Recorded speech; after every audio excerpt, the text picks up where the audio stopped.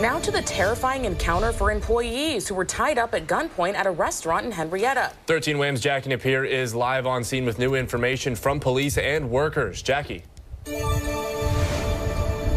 Hey, good evening. Police say that suspect waited outside BJ's restaurant and brew house for approximately three hours before approaching an employee at gunpoint as that employee was closing down the restaurant. We have the manager outside. We have a confirmed robbery. He was tied up, money taken. At approximately 1 o'clock Friday morning, police say an unknown robbery suspect jumped a fence and hid in an area just outside the BJ's restaurant and brew house in Henrietta. He waited outside the brew house for approximately three hours until an employee of the brew house came outside to throw out some garbage.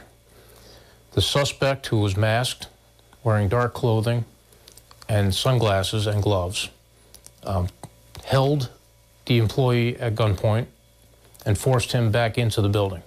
At that point, police say the suspect went inside and held a second employee at gunpoint.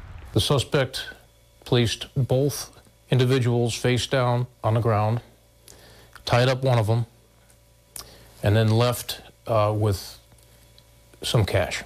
While the suspect attempted to restrain both employees, Captain Chris Fay says one employee was not tied up successfully and managed to call 911 after the suspect left. With the suspect still at large, police are asking anyone with information to come forward.